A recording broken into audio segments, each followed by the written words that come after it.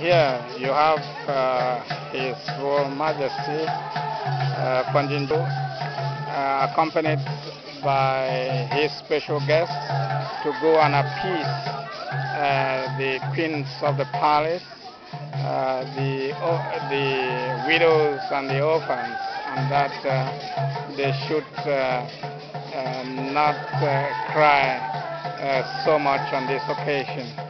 And as I said, it's really solemn here.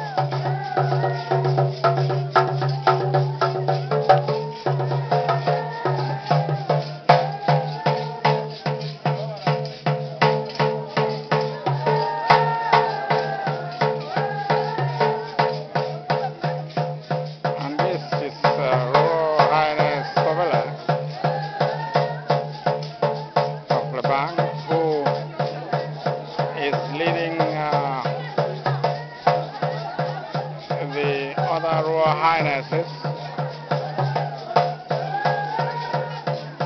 to join the crowd